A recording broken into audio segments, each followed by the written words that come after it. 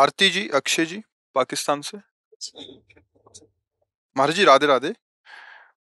महाराज जी हम हमारी कोई संतान नहीं है और हम विग्रह सेवा में लगे हुए हैं। मन कभी कभी उदास हो जाता तो ऐसे में श्री जी से मांगना चाहिए कि हमें संतान दे क्योंकि हमने आप ही के सत्संग के माध्यम से अच्छी हाँ तरह जानते हैं अगर कि सब हाँ कर्मों अगर हमारे आपको सिद्धांत की बात कहता हूँ भाग्य में संतान है तो मांगो या ना मांगो प्राप्त हो जाएगी। तो हमें निराश नहीं होना है और अगर नहीं है तो हमें लगता है फिर प्रयास भी नहीं करना चाहिए। क्योंकि भागवत की कथा सुनी, आत्मदेव ने बहुत प्रयास किया तो भी धुंधुकारी फिर सर्वनाश लीला तो हमें लगता है कि भगवान को अपना मान करके और जीवन उन्हीं के सहारे व्यतीत करे और वास्तविक बात है कि देखो, पुत्र भी हो जाते हैं, अगर संतान भी हो गई तो कोई विशेष संतान ऐसी भगवत कृपा पात्र हो तो माता पिता को सुख देती नहीं, कलयुग है। आप देख लो, सब कुछ देने के बाद भी माता पिता को थप्पड़ खाकर जीवन व्यतीत करने पड़ रहे हैं, ऐसे घर हैं माता पिता को घर से निकाल दिए गए, ऐसे पुत्र हैं माता पिता को अनाथालय में छोड़ दिए गए, वो बैठे रो रहे हैं, ऐसे कितनी ऐसी घटनाएँ? हमें लगता है सौ में कोई दस, पाँच ऐसे बच्चे होते होंगे जो अपने माता पिता को माता पिता मानकर पैर छूते हैं और वयोवृद्ध की सेवा करते हो। नहीं, अस्सी प्रतिशत तो ऐसे हैं जो अपमान ही कर रहे हैं। तो अगर संतान हो तो भगवान कृपा करके ऐसी दें जो धार्मिक हो, भगवत भाव वाली हो। और नहीं, ऐसी दुष्ट संतान से तो संतानहीन बना रहना अच्छा है। तो हम ज़्यादा संतान के प्रति भी ना सोचें, अगर भगवान दे देते हैं प्रसाद रूप से तो उनको अच्छी शिक्षा दें, आधुनिक शिक्षा ही नहीं, आध्यात्मिक शिक्षा भी दें। आधुनिक शिक्षा तो बहुत बच्चों को मिल रही, आध्यात्मिक शिक्षा ना होने के कारण जहाँ विद्या विनयम ददाती, वहाँ उद्दंड हो रहे माता पिता का अपमान कर रहे तो हमें लगता है भगवत आश्रित रहिए, शोक चिंता करिए मत, संतान हो जाती तो जय जय श्री राधे, नहीं होती तो जय जय श्री राधे। उसके विषय में न सोचे फिर कि अगर संतान नहीं तो हम कोई अभागी हैं, ऐसा नहीं है। हमारा मानव जीवन मिला है हम भगवत प्राप्ति करेंगे। भगवान तो इतने कृपालु हैं कि देखो, जब भजन करके पुत्र रूप में मांगा तो दशरथ और कौशल्या जी क्या भगवान पुत्र रूप में आए, नंद और यशोदा जी क्या भगवान पुत्र रूप में आए, देवकी वसुदेव जी के क्या भगवान पुत्र कश्यप अदिति के यहाँ भगवान पुत्र रूप में आए। तो इसलिए हमें लगता है, भगवान से प्यार करो, उनकी इच्छा होगी तो पुत्र रूप में आ जाएँगे, उनकी इच्छा नहीं है तो उन्हीं को मान लीजिए अपना, और वही निर्वाह करने वाले हैं। मान लो संतों का कौन है जीवन में? और तो कोई था। तो अब जब ज़रूरत पड़ी हज़ारों हाथों से प्यार कर रहे हज़ारों रूपों से नेत्रों से प्यार कर रहे भगवान के भरोसे से ज़रूरी नहीं कि पुत्र नहीं होगा तो हमारा जीवन बेकार हो जाएगा ऐसा नहीं। भगवान हज़ारों रूपों से प्यार करने लगते हैं। जी। पवन यादव जी? राधा वल्लभ श्री हरिवंश गुरुदेव। जी। राधा वल्लभ श्री हरिवंश महाराज जी। महाराज जी आज से छह महीने पहले मैं एक नास्तिक था और आपका सत्संग सुना तो सब छोड़ दिया। गुरुदेव श्री तो नास्तिक कैसे कह सकते हो आपको क्योंकि अगर सत्संग सुनना हुआ तो आस्तिकता थी तभी तो सत्संग सुना। नास्तिक सत्संग थोड़ी सुनता है। हाँ पहले कुमार्गामी थे। नास्तिक नहीं बोलते। नास्तिक शब्द अलग हो जाता है। आप पहले कुमार्ग में चलते थे सत्संग सुना तो सतमार्ग में चलने लगे। यही सत्संग का प्रभाव होता है। हाँ आप बोलिए जी। महाराज जी सब छोड़ दिया गुरुदेव। श्री जी की कृपा से वृंदावन नौकरी मिल रही है पर गुरुदेव जो भाव बाहर रहता है वो यहाँ नहीं रह पाता महाराज हाँ मत रहो वृंदावन। बाहर रह के बाहर नौकरी करो। वृंदावन के प्रति भाव रहे भजन रहे ये उत्तम बात है। यहाँ रहकर भाव बिगड़ जाए मत रहो यहाँ। ठीक है? बाहर रहो। क्या वहाँ तो भाव अच्छा रहता है मतलब आपको देखते हैं और मतलब दर्शन करते हैं तो बस। बिल्कुल बिल्कुल। आप यहाँ बिल्कुल मत, नहीं, हम इस बात में राज़ी नहीं। हम भाव में राज़ी तुम्हारा भाव बनना चाहिए। यहाँ रहकर भाव बिगड़ जाए बिल्कुल मत रहो।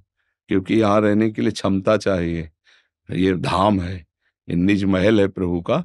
दूर से रहकर भाव करो, जिससे भजन बने। और कमाओ, परिवार की सेवा करो अच्छा भोजन करो, अच्छे आचरण करो। भगवान की विशेष कृपा होती है जब हम अच्छे आचरण करते हैं। गुरुदेव, जैसे कि मतलब लोगों का वातावरण गंदा है, मेरा रहन सहन है। पाँच छह बार आ गया, श्री जी की कृपा से मुझे मिला है आपका संग। और गुरुदेव मतलब आसपास गाली देते हैं। आपकी कृपा की अवहेलना तो नहीं होती इसमें मतलब और सब लोग वातावरण जैसा माता नहीं, अपने को अपने लक्ष्य से मतलब है, अपने को औरों की तरफ़ नहीं देखना है। औरों का गलत नहीं करना है, किसी का भी हमें गलत नहीं करना, हमें अपने आचरण गलत नहीं करने, और हमें क्या कह रहे हैं, हमें सुनना नहीं है। हम सतमार्ग के पथिक तभी बन सकते हैं जब हम किसी की सुने ना।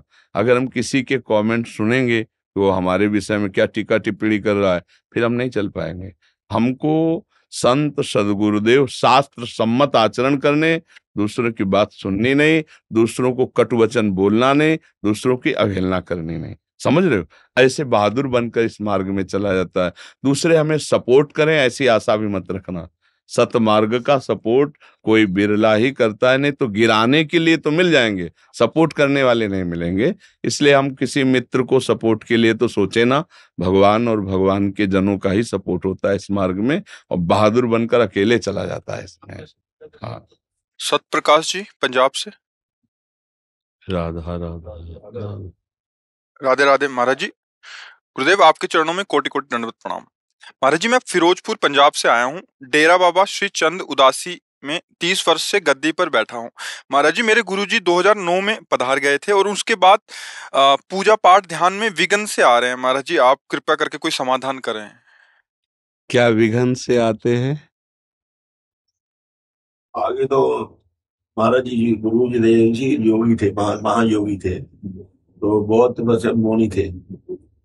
शिष्य उनके बयालीस वर्ष से वो उठा, अनाज खाते थे, कुछ नहीं लेते थे। तो उनके मेरे को जब जाते थे, डेरे में बोलते थे कि तू हमारा शिष्य, तू पिछले जन्म का साधु है तो तू गद्दी में बैठो और सेवा करो। तो मैं बैठ गया गद्दी पे 2005 में। तो उसके बाद जब मेरे को ब्रह्मांड के लिए भेजा भी जाओ, ब्रह्मांड करने में मेरे को दिक्कत बड़ी आने लगी बाहर।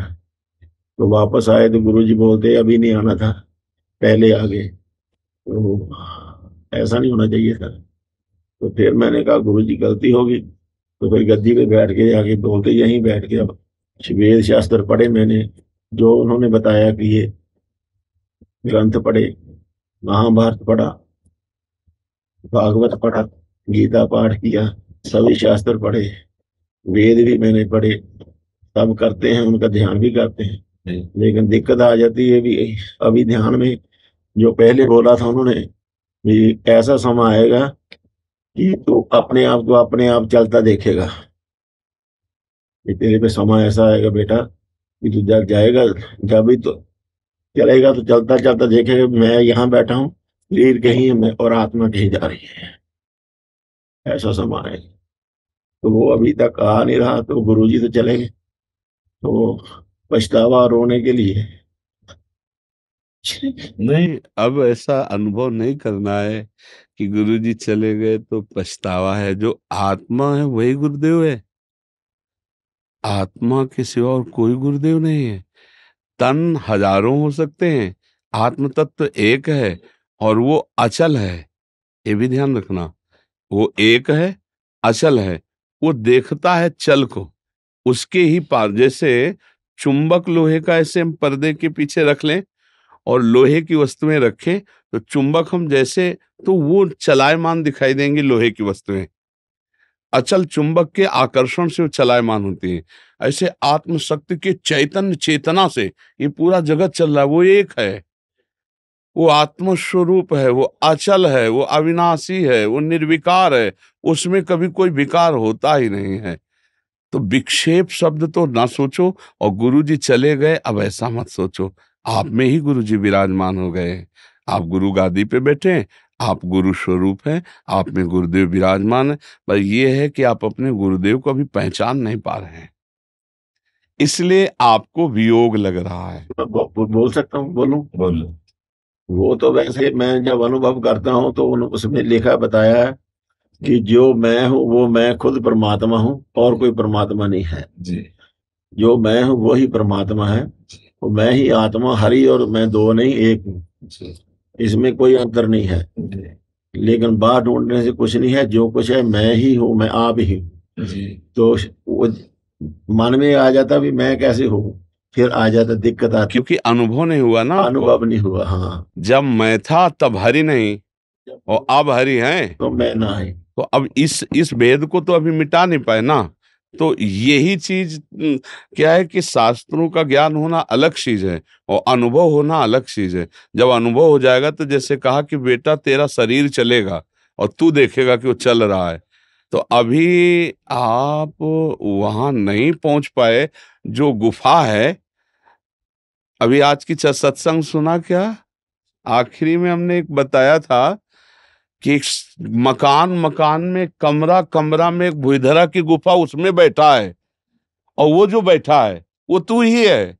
और तू जो है वो चिदानंद है। चर्चा हुई थी आज एक में बस वही हमारा स्वरूप है वहाँ हमारी पहुँच नहीं हो पा रही। आप कृपा करें महामा। अच्छा ये ये क्या है? ये सवाल अपने से ही सुलझेगा। इसमें इसमें सुलझना अपने को ही। भोलेपन में गुरुजी के मैंने एक बार पूछा मैंने कहा गुरुजी ब्रह्मा बड़े हैं विष्णु बड़े हैं कि शिव बड़े हैं? तो गुरुजी बोले उनसे तुम बड़े हो। तुम ब्रह्मा विष्णु महेश से तुम बड़े हो। अपनी पहचान आप करो। जी। बस गुरुजनों के रहस्य को समझ जाए गुरुजनों के वचन को समझ जाए और समझ के अनुभव कर ले तो देखो एक चीज़ समझना है। ब्रह्म है आत्मा है समुद्र। और ये सब उसकी तरंगे हैं। बस कृपा और- करो जी आप इतनी श्रद्धा से आया हूँ। मेरे मेरे तो आप ही सब कुछ गुरु जैसे एक ही दिखाई देते हो आप। वैसे ही आप हो जैसे गुरु थे। ये तो आपकी पावन दृष्टि महाराज जी मैं तो आपका बालक हूँ। भोले ब्राह्मण के घर में पैदा हुए हैं तो राधे कृष्ण कृष्ण ही करता हूँ मैं कृष्ण कृष्ण। वैसे आपके ऊपर विशेष कृपा है कि आप ऐसे पद पे बैठकर भी इतने दैन्य हैं। और आपके हृदय में गुरु के प्रति इतनी प्रीति है तो निश्चित समझो उस गति को प्राप्त होना दुर्लभ नहीं है, जिसे गुरु चरणों में प्रीति है और दैन्य है, आम रहित है, वो उस पद का अधिकारी हो ही जाता है। किसी दिन गुरु कृपा होगी और प्रकाश हो जाएगा अंदर तो आपको अपना अनुभव हो जाएगा। अपने से अपना जहाँ अनुभव हुआ तो खाते, पीते, चलते, उठते, बैठते, सोते, जागते हुए भी आप क्रियाहीन हैं। केवल हो रहा है ये आप देख रहे हैं। तो इसलिए निरंतर नाम जप में स्थिति ले आओ एक बार। बस यही पूछे गुरु नाम है जो दिया वो गुरु मंत्र तो पढ़ते ही हम जो दासियों का ओंकार। लेकिन स्थिति में लाओ इसे। स्थिति का मतलब है अपनी कृपा कीजिए अब। जो आप में गुरु हैं गुरु जो है जो सब कुछ बता देते हैं गुरु रूप में ही आपको अब देख रहा हूँ। तो आज से फिर आप देखना कहने की कुछ ज़रूरत नहीं है। खुद आप अनुभव करना एकांत में। ये चीज़ें बातों से नहीं होती ये चीज़ें अंदर से होती हैं। बस वो आप देखना बस हमारी प्रार्थना ये ज़रूर है कि कोई भी श्वास खाली न जाए ऐसा चलाओ। इतना आप करो आगे काम खुद आप देख लेना। वो कहा नहीं जाता। न्यूजीलैंड में था मैं छह महीने वहाँ लगा के आया। तो वहाँ आपकी यूट्यूब मैंने और कुछ देखता ही नहीं था। आपका ही बस सत्संग देखता था छह महीने। और कुछ दिन के लिए अब आना जाना बंद करो कहीं भी बाहर मत जाओ। अपनी गुरु गादी पे रहो और चिंतन प्रदान करो क्योंकि देखो शरीर ज़्यादा दिन नहीं टिकने वाला है। हाँ नहीं जी हमारी ये भी बात मान लेना। हाँ जी हाँ जी। बहुत थोड़ा समय रह गया है और काम बहुत बड़ा है। ऐसे निपटा दो। इसी जन्म में निपटा दो। अगला पता नहीं हमें मिले कि ना मिले क्योंकि पीछे निपटाने की कोशिश की नहीं निपट पाया। जैसे गुरु के वचन झूठे नहीं होते। उन्होंने कहा पीछे तो साधु था मतलब पीछे काम नहीं हो पाया। अब कर ले वो तो ऐसा बात बताते कहते जब जब तेरी मृत्यु होगी सूर्य लोक से अंदर जाएगा सूर्य लोक के बीच में जाएगा। देखो अब यहाँ समझना है कि गुरु जी ने कहा कि ब्रह्मा विष्णु और महेश तो आप समझो फिर सूर्य चंद्रमा तो बहुत छोटी बात है। ये सब मेरे ही नाम है ये सब मेरे ही रूप हैं ये सब बस वहाँ स्थित होना है बस। अब वो चीज़ चूँकि आप ऐसे प्रश्न करें ये समाज लायक नहीं है हाँ नहीं है क्योंकि हाँ। चूँकि ये करने की हाँ करे भी आरत अधिकारी जब पावे गूढ़ तत्व न साधु दुरावे ये नहीं समझ पाएँगे फिर इनके अंदर भावना और श्रद्धा में फ़र्क पड़ेगा। इसलिए हम कह रहे हैं अब बस आप एक में चिंतन में लगो और आना जाना कम करो और एकांत सेवन करो और आगे की बात खुद आप तक पहुँच जाएगी बिना बोले पहुँच जाएगी। आप उसको समझ ले कृपा आपकी होगी। अंकित कुमार जी बिहार से।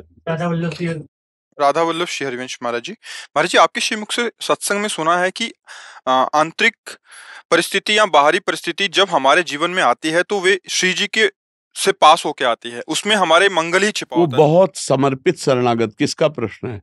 बच्चा वो बहुत समर्पित शरणागत का होता है। जब तक शरणागति पूर्ण नहीं होती, तब तक अवश्य में वो भोक्तव्यम कृतम कर्म शुभाशुभम। उस जीव को शुभ अशुभ किए हुए कर्मों का फल भोगना पड़ता है और जब शरणागत होता है, तब वहाँ सिद्धांत लागू होता है। पूर्ण शरणागत, तन वांग मनोभीर अमलय सुहम तय आश्रिता। शरीर से, मन से, वाणी से और अहम स्वयं से वो जब समर्पित हो जाता है, तब उसके ऊपर भागवतिक विधान लागू होता है। कर्म विधान नहीं लागू होता। वो नहीं तो जीव को फिर अवश्य में भोक्तव्यम, कृतम, कर्म शुभाशुभम तो पहले शरणागति की तैयारी करो। शरीर से कोई चेष्टा भगवान के विमुख ना होने पावे, गंदी बात ना होने पावे, मन से कोई गलत संकल्प ना होने पावे, वाणी से कोई गलत वार्ता न होने पावे श्रवणंदी से कोई गलत सुने ना, नेत्रों से गलत देखे ना, अभी शरणागति की तैयारी करो पहले। उस विधान में मत पहुंचो। अभी उस विधान के लायक थोड़ी हुए पूर्ण शरणागति हुई है क्या अभी? हाँ बच्चा तो पहले शरणागति तैयारी करो। हम पीएचडी की बात को तब समझे, पहले ककहरा तो हमें आ जाए, मात्रा तो हमें आ जाए। हम लोग क्या करते हैं, ककहरा मात्रा को छोटा समझ के छोड़ देते हैं और पीएचडी का ग्रंथ पकड़ लेते हैं। तो वो ना वो समझ में आया और ना ये समझ में आया। अगर हम शुरुआत से चले तो ऊंचाई पर पहुँच जाएँगे। तो पहले शरणागति को आप पुष्ट करो, नाम जप करो गलत भोजन छोड़ो, गलत आदतें छोड़ो, गंदा चिंतन छोड़ो, गंदी बातें सुनना, देखना, करना छोड़ो। अभी आनंद की अनुभूति होने लगेगी, अभी शरणागति की तरफ़ कदम बढ़, जहाँ शरणागति आती है। ये तो अभी जो चर्चा सुन रहे थे शुद्ध ज्ञान की है। ये शरणागति भक्ति की चर्चा है। इसमें जहाँ शरणागति हुई इष्ट की, ता निर्भय, निश्चिंत, निशोक अद्भुत आनंद। राधा राधा राधा राधा। अब उसके ऊपर जो विधान होगा, वो भागवतिक विधान होगा। कर्म विधान नहीं होगा, क्योंकि संसारी आदमी नहीं, वो शरणागत है। बात समझ रहे ना? वो अपने इष्ट के विधान को आंतरिक और बाहर दोनों जगह देखता हुआ संतुष्टायन केनवा वो संतुष्ट रहते हुए परमात्म चिंतन में रहता उसकी स्थिति रहती है। अभी आपकी स्थिति थोड़ी है। अभी आप घबरा जाओगे, आप परेशान हो जाओगे। तो पहले शरणागति की तैयारी करो। सत्संग सुनो, शरणागति की तैयारी को जहाँ शरणागति हुई, तब फिर स्थिति आती है। आप समझ पा रहे कीर्ति भटनागर जी जयपुर से? राधा वल्लभ श्री हरिवंश राधा वल्लभ श्री हरिवंश महाराज जी। महाराज जी आठ महीने पहले मुझे आपका सानिध्य प्राप्त हुआ तभी से निरंतर प्रतिदिन नाम जप करती हूँ सत्संग एकांतिक वार्तालाप सुनती हूँ। महाराज जी आपकी श्रीमुख से कई बार सुना है कि यहाँ सब नाटक हो रहा है। नाटक में कमी मत छोड़ना। कभी कभी नाटक करते करते मन इतना भारी हो जाता है कि भारी हो जाता है क्योंकि आप नाटक को नाटक न मान के सत्य मान लेते हैं। किसका है? हाँ आप नाटक को सत्य मान लेते हैं। आप अपने को स्त्री माने हुए हैं। तो आप नाटक नहीं कर रहे। आप स्त्री का नाटक नहीं कर रहे। आप सच्ची में स्त्री हैं। आप अपने को पत्नी माने हुए पत्नी का नाटक करना था, लेकिन आप सच्ची में पत्नी हो गई तो आपको भारी तो पड़ ही जाएगा फिर। देखो जब कोई नौटंकी नाटक में जाता है तो उसको पता होता है, मैं ये नहीं हूँ। मैं थोड़ी देर के लिए राजा बनूँगा, और ये थोड़ी देर के लिए रानी बनेगा। ना कोई राजा है, ना कोई रानी है। नाटक मंच पर है। ये जगत नाटक का मंच है, यहाँ ना कोई पति, ना कोई पत्नी है, ना कोई पुत्र है, ना कोई पिता है। एक नाटक है थोड़ी देर के लिए। लेकिन नाटक कौन मानता है? सत्य मानता है इसे। पुत्र के वियोग में उसकी हालत क्या हो जाएगी? आप सोचो नाटक माना था क्या? और जो नाटक मानते उनको कोई फ़र्क नहीं होता। आए की हुज्जत नहीं गए की तलाश नहीं। जन्मा तो भगवान की इच्छा, मरा तो भगवान की इच्छा। उसको संयोग वियोग में दुख, सुख का अनुभव द्वंद्व, विमुक्ता होता है। लेकिन इतना बड़ा जगह हुआ पुरुष कोई बिरला ही होता है। अपने लोग नाटक नहीं कर रहे, अपने लोग सत्य मान रहे हैं। इसलिए मन भारी हो जाता है, इसलिए दुखी हो जाता है कि कब तक सहूं लेकिन नाटक तो नहीं किया ना, आप सत्य मान लिए ना। अगर नाटक में देखो तो जैसे नाटक में सिपाही बका रोल हुआ, चोर को पीट रहा है तो ना चोर को दुख है, ना उसको सुख है, पर एक्टिंग पूरी वैसे ही कर रहा है। यहाँ हम सत्य मान लिए अपने को शरीर, सत्य मान लिए अपने संबंध तो अब हमारा मन भारी तो हो ही जाएगा, क्योंकि सत्य मान लिया ना। और वहाँ नाटक नाटक, दोनों बाद में एक हाथ मिलाएँगे कि यार तुमने क्या बढ़िया रोल किया? वो कहेगा, तुमने भी बहुत बढ़िया रोल किया। तो रोल किया केवल। हम सत्य थोड़ी बन गए। न राजा, न रानी, वो तो दो घंटे के लिए राजा रानी का रोल था। ऐसे ही अव्यक्तादि भूतानी, व्यक्त मध्यानि भारत, अव्यक्त निधनान्य तत्र का परिदेवना। तुम पहले स्त्री नहीं थी, तुम बाद में स्त्री नहीं रहोगी। बीच में स्त्री शरीर मिला है। बीच के नाटक के लिए क्या रोना? ये चार दिन की चांदनी फिर हट जाएगा, ये शरीर हट जाएगा, ये शरीर ना पहले था, ना ये बाद में रहेगा, बीच में भास रहा है। इस भासने का अगर अपना कर्तव्य पालन कर लो और खूब नाम जप करो तो मन कभी भारी नहीं होगा। आप कर्तव्य में चूक करेंगी, भजन करेंगे नहीं तो मन तो भारी हो जाएगा, मन फंस जाएगा माया में। इसी का तो नाम माया है। समझ पा रही बच्चा? हाँ अभी नाटक नहीं कर रहे अभी सत्य में हो तभी मन भारी हो गया। नाटक में परेशानी नहीं होगी। महाराज जी उदाहरण के तौर पे नाम जब मैं, मैं दो घंटे करती हूँ रोज। हमारा घंटे से तात्पर्य बच्चा नहीं है। फिर हमारी बात को तुम समझ नहीं पाओगे। घंटे से तात्पर्य नहीं है। हर कार्य करते हो जैसे आप रसोई बना रहे हो तो राधा राधा राधा पूछा लगाए तो राधा राधा। पति को प्रसाद पवा रहे तो मेरे प्रभु पा रहे हैं। राधा राधा हम घंटे पे नहीं ले जाते। गृहस्थी में ये घंटे वाली साधना ठीक नहीं है। गृहस्थी में कार्य वाली साधना ठीक है। पुत्र को स्नान करा रहे सजा। राधा राधा राधा अंदर से राधा राधा चल रहा बाहर से से बहुत बढ़िया आनंद आए ये घंटे वाले से पार नहीं पाओगे। इससे नहीं। आनंद आना शुरू हो गया है। प्रॉब्लम ये है कि मन इतना निर्मल हो गया है कि अब मैं किसी को डांटती भी हूँ तो मुझे रात में रोना आने लगता नहीं, फिर अभी नाटक नहीं, अभी नाटक नहीं कर पा रहे हो। नाटक अगर परफेक्ट कर लाए तो ठीक। देखो, तुम तो दो घंटे वज़न करती होगी। अपने लोग बचपन से किए हैं। अगर ज़रूरत पड़ती तो मानो सैकड़ों जवान साधक हैं। अगर जरा सी चूक हुई तो गुस्सा नहीं है। पर हमें गुस्सा का नाटक ए अब एकदम इतना गुस्सा का रूप घबरा करके गंदी बात की तरफ़ आँख उठा के भी नहीं देखेगा। तो क्या हृदय कठोर हो गया क्या? नहीं, नाटक करना है। प्रभु ने नाटक किया शिष्य का तो अब हम नाटक कर रहे हैं गुरु का तो अब हमारी आवश्यकता पड़ेगी तो उनके दोष निवृत्ति के लिए हम गुस्सा भी करेंगे। आवश्यकता पड़ेगी तो एक दो चपत भी लगा देंगे। उनका परम मंगल, उनका परम कल्याण, उसमें थोड़ी होता है। नहीं, अभी नाटक में कमी हो रही है। बिल्कुल वैसे ही रहना। हमको जो रोल मिला वैसे हमें असली में गुस्सा नहीं होना। हमें असली में दोष दर्शन नहीं करना, हमें नाटक करना है। तुम अगर हमारे पुत्र रूप में आए हो तो हम तुम्हें डांटेंगे, तुम्हें चपत लगाएँगे, तुम्हें प्यार करेंगे, माँ का रोल पक्का निभाएँगे। उसमें नहीं, वो उसको कंट्रोल किया जाता है, उसको शासन में रखा जाता है। ऐसे तो फिर, अगर ऐसे तो फिर लुट जाओगी, संसार का स्वरूप परेशान हो जाओगी। मतलब अंदर का सुख लुट जाएगा। क्योंकि फिर बाहर नहीं, बहुत शासन भक्त को, भगवत मार्ग के पति को, अपने हृदय के धन को छुपा के बाहरी नाटक ऐसे करना। बाहर हम उसको प्रदर्शित ना कर दें कि हम रोने लगे हम ऐसा। हाँ कभी भाव आता है वो अलग की बात है, लेकिन हमें जब सेवा का भाव आएगा तो हम बड़े प्रवीण होकर वैसे सेवा करेंगे जैसे एक संसारी आदमी करता है। तभी हमारा नाटक सही माना जाएगा, नहीं तो फिर गड़बड़ हो जाएगा। संसार में रहकर बहुत अच्छी तरह भजन हो सकता है, केवल उसकी प्रक्रिया जान ले, उसकी युक्ति जान ले, पति, पत्नी, पुत्र, परिवार के बीच में रहकर भजन करके वो भगवान को प्राप्त कर सकता है। समझ पा रहे आप? हाँ ये ज़रूर मानते हैं कि हृदय द्रवित होता है, पर उस द्रवित हृदय में विवेक भी तो होता है। विवेक के द्वारा हम उसको कंट्रोल करते हैं, उसे शासन में रखते हैं, और हम जैसा व्यवहार चाहिए वैसा व्यवहार करते हैं। ऐसे चलिए आप। विजय विक्रम सिंह जी अमेठी वल्लभ प्रिय राधा वल्लभ श्री हरिवंश। पूज्य गुरुदेव आपके चरणों में चरण स्पर्श। महाराज जी इनका शायद एक प्रश्न है कि राजनीति में मतलब भ्रष्टाचारी और अपराधी धनवान के सहारे जल्दी उच्च पद प्राप्त कर लेते हैं। एक सच्चे और ईमानदार हमारे यहाँ प्रश्न का उत्तर पर्सनल साधना का दिया जाता है। हम समाज के लायक नहीं हैं। हमारे पास जो आ गया और वो अपना पर्सनल उत्तर करता है तो हम उसे उत्तर देते समाज में क्या हो रहा है? इसके उत्तर के लिए और कहीं प्रश्न किया जाए, हम उत्तर नहीं दे पाएँगे। हम उत्तर देते हैं पर्सनल। आपको साधना में क्या परेशानी है? आपको भगवत उपासना में क्या परेशानी है? या आप राजनेता हैं तो आपको पर्सनल क्या परेशानी? उस पर हम उत्तर देते हैं। समाज में भ्रष्टाचार हो रहा है, इसका उत्तर नहीं देते। भ्रष्टाचार समाज में जानते हो कौन करता है? हम ही आप। अगर हम आप सुधार अपना करना शुरू कर देना एक एक तो भ्रष्टाचार खत्म हो जाएगा। हम उसको अंगुली कर रहे हैं वो भ्रष्टाचारी वो उनको अंगुली कर रहा है वो भ्रष्टाचारी हम अपने आचरण सुधार लें तो हमारा सब भारत पूरा सुधर जाएगा।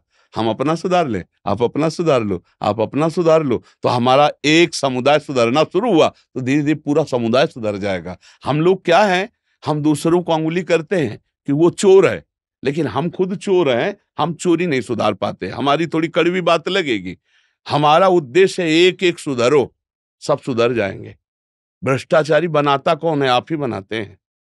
भ्रष्टाचारी बनता कौन? आप ही बनते हैं। आप बनाना और बनना छोड़ दीजिए तो हमारा भारत भ्रष्टाचार रहित हो जाए। खुली बात है, भ्रष्टाचारी को कौन बनाता है? अपने लोग ही तो बनाते हैं। तो भ्रष्टाचार बनता कौन है? अपने में से एक बन जाता है। तो उसी का हमें सुधार करना है। अच्छा हमारे यहाँ क्या है, चूँकि अध्यात्म की चर्चा होती है तो हम उससे राजनीति तौर तरीके पे नहीं ले जाना चाहते। यहाँ अगर कोई राजनीतिक भी आता है तो पर्सनल बोलिए आप अपना। आप अपने पद में क्या त्रुटि कर रहे हैं, आपको क्या सुधार करना है, उस विषय में बोलिए तो हमारी चर्चा रंग लाएगी। हम कभी ऐसी नहीं चर्चा कि, महाराज, समाज में ये हो रहा है तो हम क्या करें? हम चुप हो जाएँगे। आप बोलिए, समाज में आपका क्या रोल है? आपको क्या सुधार करना है? उस विषय में हम चर्चा करते हैं। क्योंकि प्रेजेंट आप हमारे सामने हैं वर्तमान में, आप उत्तर लीजिए अपने को लेकर के। समाज को सुधार के लिए हम योग्य नहीं है। हाँ समाज के सुधार के योग्य और आज अगर समाज सुधर रही है, आपको अगर दिखाई दे रहा हो तो अगर समाज सुधर रही है तो वर्तमान के ही उपदेश से सुधर रही है। यहाँ किसी की निंदा नहीं किसी की अवहेलना नहीं, डांट है तो आपको है, सामने बैठे हो। अब आप कोई भी हो, हमारे लिए उससे कोई फ़र्क नहीं पड़ता। आपका सुधार होना चाहिए। बड़े बड़े जज बड़े बड़े वकील बड़े बड़े अधिकारी बैठ करके तो अपना प्रश्न कीजिए, क्योंकि आप ही समाज हैं। आप सुधर गए ना तो समाज सुधर जाएगी। तो हमें लगता है हम लोगों को स्वयं का सुधार करे तो हमारी समाज सुधर जाएगी। समाज कौन है? हम ही चार लोग मिलके तो समाज है। समाज का नेता कौन है? हमारे में ही तो चार लोगों में एक तैयार होता है। तो हमारी बुद्धि भ्रष्ट है तो हम भ्रष्टाचार युक्त है और सत्य है तो सत्य मार्ग के प्रतीक है। तो अगर हम चार सुधरेंगे ना तो हम चालीस को लपेट लेंगे सुधारने में और चार बिगड़ेंगे ना तो चार सौ को लपेट लेके बिगाड़ने में। आप देख लो ना, एक बच्चा गंदी आदत का होता है, सैकड़ों बच्चों को गंदी आदत सिखा देता है और एक बच्चा अच्छा होता है तो सैकड़ों को संभाल लेता है। तो हमको चाहिए कि हम जो चार लोग सत्संग में बैठे, अगर यही सही हो जाए तो हम बहुत हिस्सा भारत का सुधार लेंगे। तुम चार को संभालोगे, तुम चार को संभालोगे तो हमारा भारत सुधर जाएगा। पर हम लोगों की बुद्धि मारी गई है, हम खुद सुधरना नहीं चाहते, दूसरे को सत्यवादी और हम झूठ बोले। दूसरा ब्रह्मचारी हो, हम खूब विचार करें। हमारे लोगों की ये समझ हमको भ्रष्ट करती चली जा रही है। दूसरों के तो हम दोष वर्णन करेंगे, दूसरों को सुधारना चाहेंगे, लेकिन हम अपने को सुधारना नहीं चाहते, इसीलिए न उपदेश रंग लाता है, न प्रवचन रंग लाता है और न किसी भी तरह का भाषण रंग लाता है।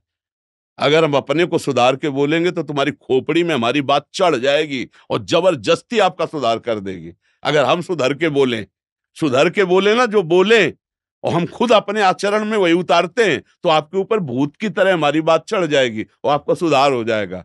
और अगर हम डुप्लीकेट बोलेंगे ना हाँ अंदर रुपए की चाहत है, अंदर भोगों की चाहत और वैराग्य की बात करेंगे तो एक को भी वैराग्य नहीं चढ़ेगा, एक को भी हमारी बात नहीं रंग लाएगी। तो हमें लगता है समाज की छोड़े, हम अपने लोग अपना अपना सुधार करें तो समाज का अपने आप सुधार हो जाएगा, राष्ट्र अपने आप उज्जवल भविष्य वाला हो जाएगा। क्यों भाई? आप क्या प्रश्न करना चाहते हो? यही कह रहे थे कि एक ईमानदार आदमी राजनीतिक में कैसे सरवाइव करे? नहीं तो दूसरों अगर, अगर आप केवल इतना प्रश्न करते तो हम ना बोलते। आपने कहा आज भ्रष्टाचार बहुत बढ़ रहा है। तो हर व्यक्ति हर नेता के पास जाओ अगर वो ईमानदार अपने को ना बोले तो हमें बताना। जैसे आप बोल रहे हो कि एक ईमानदार सत्य आदमी राजनेता में कैसे जाए तो आप यही शब्द सबसे सुनोगे। नहीं सुनोगे? कोई अपने को कहेगा मैं भ्रष्ट लेता हूँ। आप बोलो को बोलेगा कोई कहेगा तो कोई आपको भी कह सकता है लेकिन आप सत्य में चलोगे तो आपको कोई पराजित नहीं कर सकता आप प्रकाशित हो जाएँगे। आप कोशिश कीजिए हमारे आपको कोई पद मिला है अभी तक? जी महाराज जी मैं पूर्वांचल विकास बोर्ड का सदस्य हूँ हाँ। उत्तर प्रदेश सरकार। तो आप अपने पद का अगर सच्चाई से पालन कर रहे हैं तो भगवान देख रहा है समाज देख रहा है तो आपको आगे उठाने के लिए भगवान तैयार है। बस महाराज जी ईश्वर की इच्छा मान कर ही। हाँ भाई ये ध्यान रखना कि अपने पद का प्रयोग अपने लिए नहीं होता है समाज के लिए होता है। और हर पद समाज का सेवक होता है। हर पद हमारी समाज का सेवक पद होता है। चाहे वो कोई भी हो वो सेवक पद ही माना जाता है नहीं माना जाता है। अगर इस भाव में आप रहोगे कि मैं समाज का सेवक हूँ तो बहुत बड़ी सेवा मिल सकती है। और अपने सुख की आकांक्षा लेकर किसी पद में जाना, मान, प्रतिष्ठा, धन संपत्ति, वो हमारे राष्ट्र की सेवा नहीं कर पाएगा। और जब अपने पद की आकांक्षा का त्याग करके राष्ट्र में गए तो फांसी के फंदे को भी ऐसे गले पे डाला है, जैसे ब्याह का जयमाला डाला। बंदे मातरम। और ऐसे फांसी के फंदे को डाल के झूल गए। जब देखा लड़ते लड़ते चंद्रशेखर आज़ाद जी ने कि अब मैं दुश्मनों के चुंगल में फंस जाऊँगा तो अपने को शूट कर लिया। तुम ज़िंदा हमें नहीं पा सकते हो। हम भले मृत्यु को स्वीकार करें, पराजय को स्वीकार नहीं करते। राष्ट्र सेवा की भावना जागृत हो जाए तो प्राण बलिहार करना भी उसके लिए पुष्प जैसा होता है। ऐसे हमारे राजनेता हमारे राष्ट्र को सुख पहुँचा सकते हैं। लेकिन राष्ट्र पदवी का भोग करने की वासना वाला फिर तो नहीं हो सकता है। नहीं हो सकता ना? तो राष्ट्र पदवी के भोग का त्याग करके जो पद मिला है, ईमानदारी से आप करो, आगे बढ़ाने वाले तो हरी है। वो आपको भी देख रहे हैं और समाज को भी देख रहे हैं। आप सच्चाई से पद मार्ग में चलो कहीं कोई त्रुटि ना होने पावे तो आप आगे बढ़ जाओगे। पहला शब्द आपका निकला ना कि भ्रष्ट ने तो, तो इसलिए मुझे थोड़ा चिड़चिड़ा लगा कि मैं दूसरों को अंगुली ना करूँ दूसरों को अंगुली ना दिखाऊँ। हम स्वयं आगे बढ़े तो हमारे आचरण दूसरों का मुँह काला अपने आप कर देंगे। जो असत आचरण से चल रहे हैं हम उदाहरण होंगे उनके यदि हम सत्यता से चले। और कल अगर वो सुधर जाए तो वो भी सत्य हो सकते हैं ना। तो दोषी कौन जो दोषों को स्वीकार कर रहा है? अगर वो दोषों को छोड़ दे तो निर्दोष ना हो जाए। तो कोई भी भ्रष्ट नहीं है। कोई भी भ्रष्ट नहीं है। हमको कोशिश करना है कि हम ऐसा प्रमाण बने, ऐसा उदाहरण बने कि जो भ्रष्ट आचरण में, वो भी भ्रष्टता का त्याग कर सच्चे देशभक्त बन जाए। तो हमको, हम सदैव ये कहते हैं, किसी के ऊपर घृणा मत करो, किसी को दोषारोपण न, जैसे कोई शराबी है तो घृणा मत करो, उसे प्यार करो, उसकी शराब छुड़वा दो, बहुत बढ़िया आदमी हो गया, नहीं हो गया? हाँ तो हमको क्या करना, अपने राष्ट्र को यदि उज्जवल और मज़बूत बनाना है तो घृणा और नफरत से पहले हमको दूर उठना पड़ेगा। हमें जो भ्रष्ट है, उनसे भी हाथ मिलाना होगा, और अपने सत्यता के परमाणु उनमें डाल के उनकी भ्रष्टता हटानी होगी तो वो भी हमारे देश के सेवक बन जाएँगे। ऐसा हमारा भाव रहता है कि हम सब बदल सकते हैं, हम सब सुधर सकते हैं, एक बार सुधरने की कोशिश की जाए और इतने महान बनिए अंदर से आध्यात्मिक कि सामने वाले का परिवर्तन कर दीजिए। सामने वाले को दोषारोपण न कीजिए, उसका परिवर्तन कीजिए।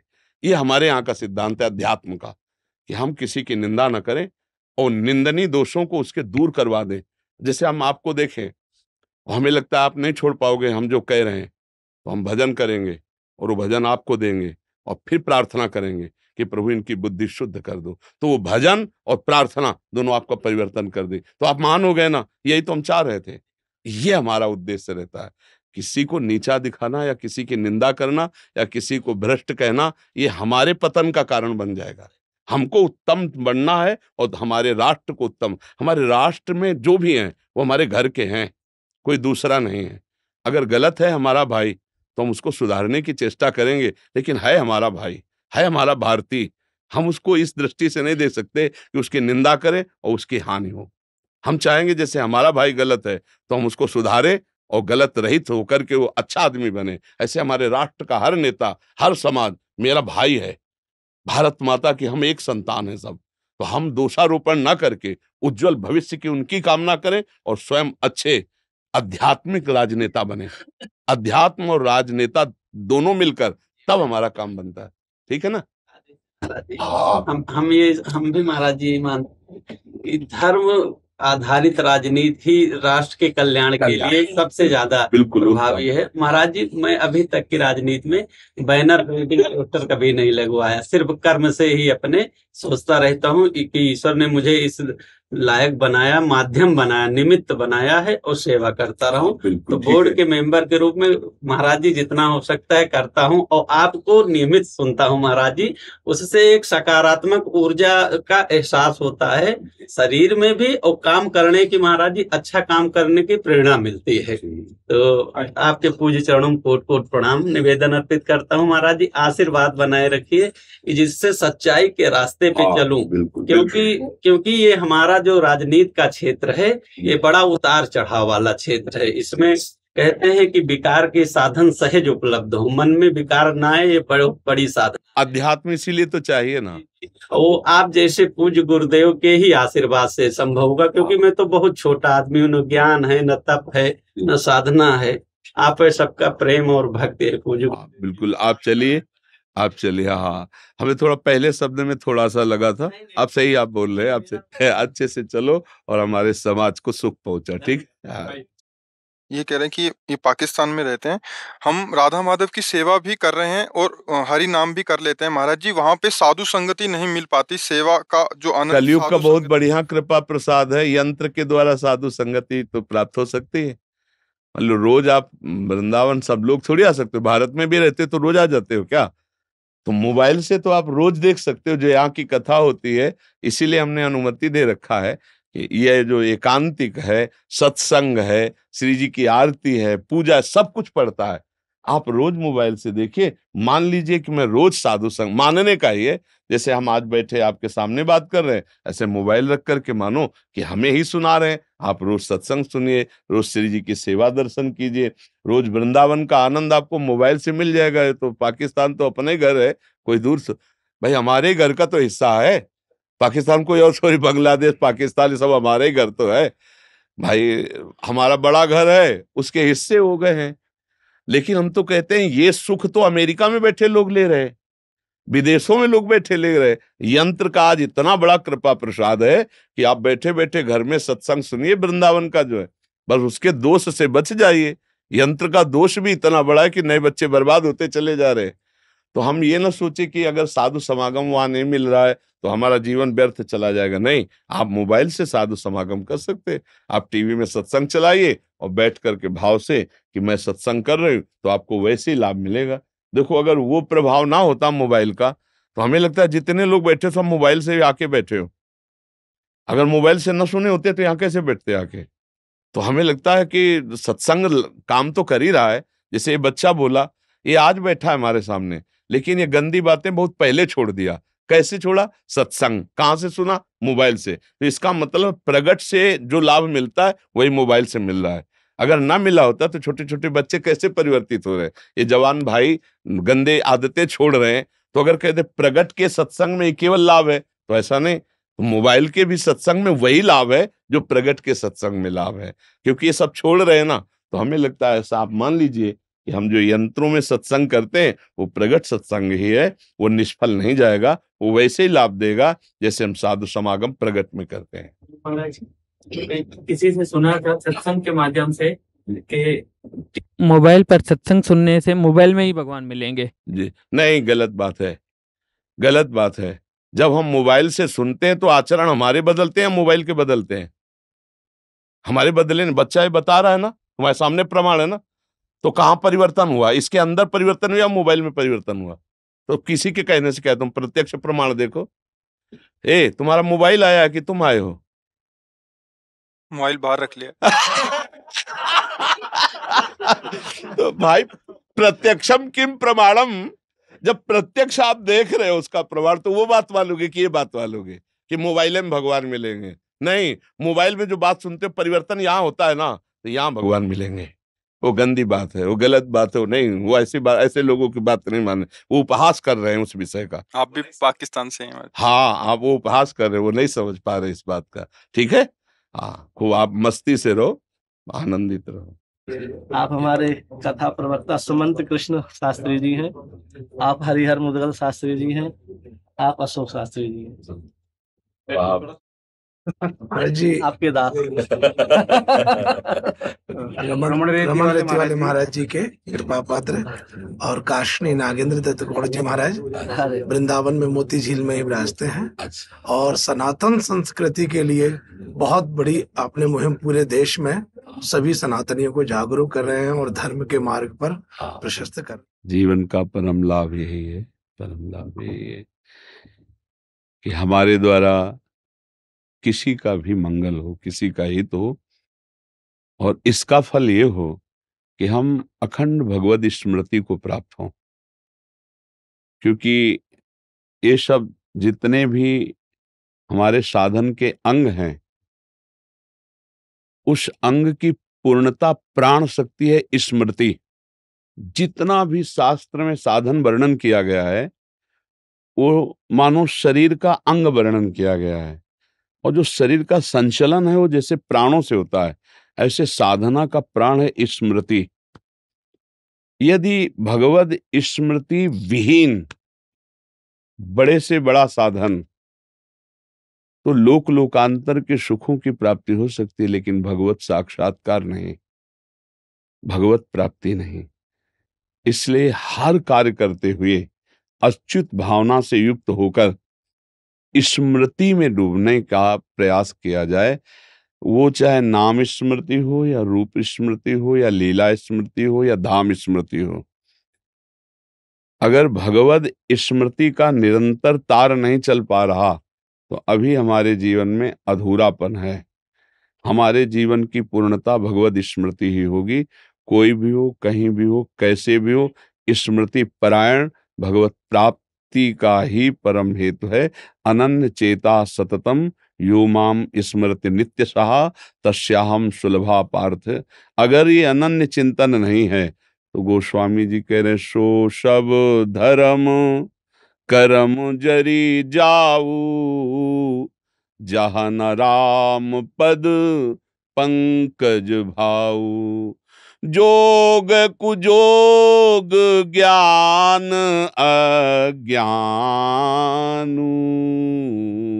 जहाँ नहीं राम, प्रेम पर धानु सब साधन कर, यह फल सुंदर।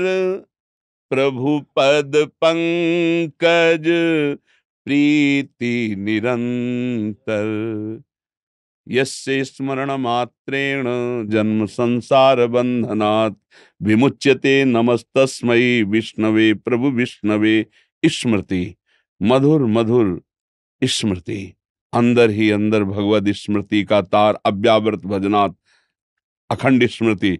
फिर जितने भी धर्म कर्म हैं ये सब भगवत स्वरूप हो जाते हैं। हमारी स्मृति विषयाकार, हमारी स्मृति जगदाकार, हमारी स्मृति देहाभिमान से युक्त देश संबंधों के सुखों में, भोगों में कोई खास बात नहीं हुई जीवन में। बस ये बात, देखो भगवान की कृपा से अपने लोगों का मिलन होता है। जब द्रोही दीन दयालु राघो तो साधु संगति पाइए। साधुता का तात्पर्य होता है लक्षणों से वेश से नहीं। जैसे अपने लोग भगवत गुणगान, भगवत दास हैं सब, भगवत यशो गायक हैं, उनके यश का गान करने वाले तो हमारे जीवन का चरम लक्ष्य होना चाहिए। स्मृति भगवत स्मृति में डूबे हुए भगवत गुणगान, भगवत भाव से किसी की भी सेवा और भगवान मुझे निमित्त बनाकर केवल कर रहे हैं, करना उनका है। एक मैं निमित्त मात्र हूँ, कहीं भी अहम ना होना, यही हमारे जीवन की परम आध्यात्मिक संपत्ति है। अगर स्मृति विहीन मिनट गया, वो बड़ी हानिकारक है। का हनुमंत विपति प्रभु सोई, जब तो सुमिरन भजन न होई। स्मृति के साथ सेवा। सुमिरन, स्मृति और भज धात सेवायाम भजन। मतलब आपकी सेवा स्मृति के सहित मतलब मामनिस्मर युद्ध च। मामलेश्वर युद्ध च मेरी स्मृति स्मरण और अपने कर्तव्य का पालन। बस ये सार बात समझ में आई है जो जहाँ है भूरिदा जना। जैसे भगवत चर्चा भगवत नाम भगवत स्मृति ये सबसे बड़ा दानी जो स्वयं स्मरण करे और दूसरे को स्मरण कराए। पर वो तभी हो सकता है जब कथयंत च माम नित्यम और तुष्यंत च रमंत च। इसको बहुत आंतरिक भाव से समझना है। कथयंत च माम नित्यम लेकिन तुष्यंत च रमंत च। उसी में तुष्यंती जो बोधयंता परस्परम कथयंत च माम नित्यम मच्चित्ता मदगत प्राणा बोधयंता परस्परम तो कथयंत च माम नित्यम मेरा ही कथन हो, और उसी में तुष्यंत च, रमंत च। पर ये चीज़ थोड़ा हट जाती है। कथयंत च, माम नित्यम ये तो हो सकता है, लेकिन तुष्यंत च, रमंत च, इसमें अंतराय आ जाता है। धन, भोग, वासनात्मक क्रियाएँ, अब कथयंचित माम नित्यम का रस नहीं मिल पाएगा। चौथ, भगत मम गुण गण करे कपट तज, कथयंति च माम नित्यम तुष्यंति च रमंति च। तुष्यंति च रमंति च, ये हमें ध्यान। और यही है स्मृति। जब उनकी रूप स्मृति में, उनकी लीला स्मृति में ये परमहंस संहिता श्रीमद भागवत ना, इतनी समर्थ है कि और किसी साधन की ज़रूरत नहीं। इसके सात दिन में स्पष्ट प्रेत भगवत पार्षद बन के विमान में जा रहा है। ले जा रहा है। बस देख लो प्रश्न हुआ गोकर्ण जी का कि कथा तो सबने सुनी। हल में भेद क्यों? एक विमान क्यों? सबके लिए क्यों ले आया? क्योंकि तुष्यंत च रमंत च नहीं थे ये। हाँ हाँ मनन नहीं था। मनन नहीं था। तुष्यंत च रमंत च ना होने के कारण और इसने भूख प्यास सबका त्याग करके, ये इसी में तुष्यंत च, रमंत च, इसीलिए विमान इसके लिए आया है। अगली बार फिर तैयारी करो तो विमान हम सबके लिए लाएँगे। और तैयारी की गई, और विमान आया सबके लिए, और सब गए भगवत स्वरूप। श्रीमद भागवत कलयुग में क्या मतलब हर युग के लिए, क्योंकि भगवान की पावन चर्चा ना, परम वरदान है। बस इसका सही ढंग से प्रयोग किया, जैसे औषधि है ना, उसको अनुपान के सहित प्रयोग किया जाए तो रोग में बहुत जल्दी लाभ प्रदान करती है। जैसे हमारा उद्देश्य भगवत प्रीति प्राप्त करना हो और सुनने वाले का उद्देश्य भी भगवत प्रीति प्राप्त करना हो, फिर जो चर्चा होगी, बड़ा रंग आएगा, बहुत रंग आएगा। नहीं, और जब हमारा पाप मोचन केवल होता है तो उसमें रमंत की बुद्धि नहीं होती है। वो केवल प्रवक्ता बोले और सात दिन में दक्षिणा दे देंगे पाप मोचन तो हो जाएगा। लेकिन वो भगवत पार्षद रूप नहीं हो। पाप मोचन करने का तो अमोघ उपाय है। जैसे कभी भ्रूण हत्या, गर्भ हत्या किए हुए ग्रस्त जन होते हैं और हम कई बार सत्संग में बोले हैं कि तुम्हारी दुर्गति पक्का होगी, तुम खिलवाड़ मत समझ लेना। अब वो डर के जैसे है भी कोई? ऐसा वैसी बात नहीं है, बहुत बड़ा अपराध है। तो जैसे पूछते हैं तो उनसे कहते हैं कि एक ही उपाय है। सात दिन संस्कृत से श्रीमद भागवत अपने कान में सुनो। वो जादू करेगा तो कि तुम्हारे ऐसे महत पापों का नाश कर देगा। खुली बात है। दूसरा कोई उपाय नहीं ऐसा विद्वत जो पूर्ण रूप से उच्चारण पवित्र करके और आपको पूरा मूल सुनावे तो फिर निश्चित बड़े से बड़े महत पाप का नाश करने के लिए श्रीमद और वही आप सब कर रहे हैं। श्रीमद भागवत का दान करे भूरी दान तव कथा प्रथम तत्व जी जो आनंद वर्धन करने वाला भूले हुए विषयों में जीव कम से कम राम कृष्ण हरि की जो चर्चा सुन ले तो इससे मंगल हो जाए। बहुत भगवान की चर्चा में बड़ी सामर्थ्य है। बड़े बड़े साधन करने वाले जो प्राप्त नहीं कर पाए, केवल भगवान की चर्चा सुनने वालों को भगवत प्राप्ति हो गई। मथुरा के पड़ोस की बात कह रहे हैं। मथुरा के ब्राह्मण बड़ी बड़ी यज्ञ करने वाले थे और भगवान को भगवान नहीं मान पाए। और उनकी पत्नियाँ केवल चर्चा सुनती थी, वृंदावन की मालिनी पुष्प ले जाए। साक्षात भगवान की सेवा और साक्षात्कार दोनों कर लिए। और वो यज्ञ करते रह गए, धुआँ धुआँ घुटता रहा, लेकिन श्याम सुंदर की झांकी ले पाए। ले पाए ये भगवान की चर्चा में एक विशेष महत्व है। रत्नावती जी ने कोई साधन नहीं किया था, पूरी वैसे ही रानी थी जैसे सांसारिक रानी होती है। उनकी दासी चरणों में बैठे बैठे हा गोविंद, हा कुंज बिहारी। भाई, ये कौन है भाई? गोविंद कुंज बिहारी। वो ये भी नहीं जानते थे भगवान का नाम है। तो उनका रहने दो महारानी।